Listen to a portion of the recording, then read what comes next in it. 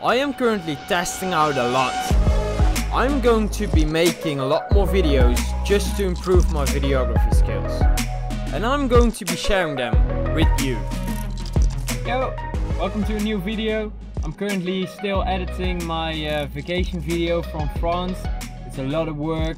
I think I've spent like 40 plus hours on it, but it turned out really nice. Well, I'm going to Nijmegen to visit my old teacher and I'm also going to visit my accountant, which is also family of mine.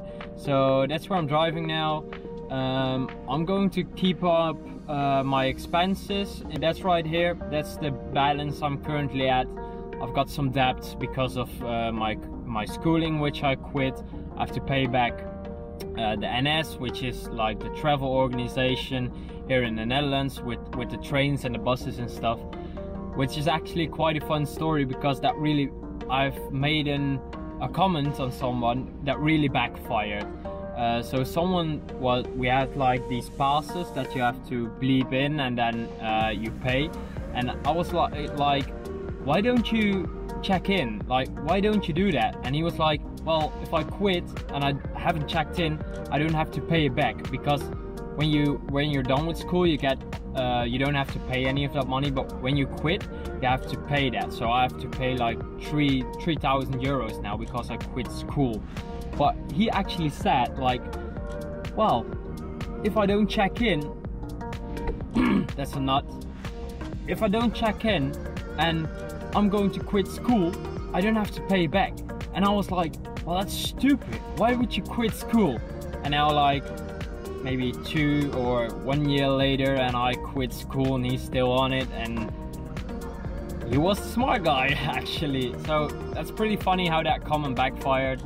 Um, I always look back at those things with a smile, like, I didn't know, I wasn't conscious about anything, or not about it, I wasn't conscious about that comment back then, like, um, I was still like, school's the best thing. School's gonna learn you everything. With school, you get success. But I, for me, I, at least, I realized that wasn't the case. So that's why I quit school. Probably more on that in any later vlogs. But uh, right now we're going to Nijmegen. So yeah, let's go. I'm also listening to a podcast right now, as you can hear. Uh, I do that a lot in the car and stuff because you want to fill your mind with with good information and not with some bullshit things. At least that's what I feel like. So, I was showing my teacher the video from France that I've made, and he was really impressed. And I want to thank you all for the support that I got on that video. Dat kan niet anders. Yvonne was helping me to figure out what I really want to be doing with filmmaking. And now I realize what that is that I want to be doing.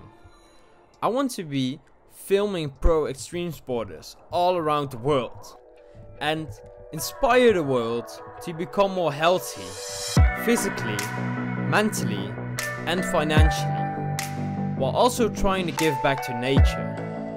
But in order to be able to do this, I first have to grow a following or grow my business. And the only way I will be able to do just that is by focusing the sensory world and focusing on myself. And while this is the opposite of what comes natural to me, these are the functions where I have to take my responsibility. Now let's do some sensing. You ready? Ja. Hello! Let's go to Wipeout. God!